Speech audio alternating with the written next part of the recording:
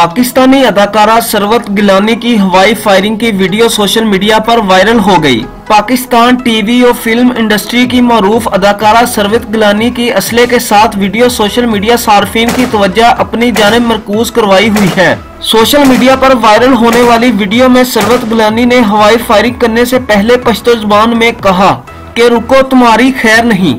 سروت گلانی کی یہ ویڈیو دیکھ کر ان کے مداح حیرت زدہ ہیں۔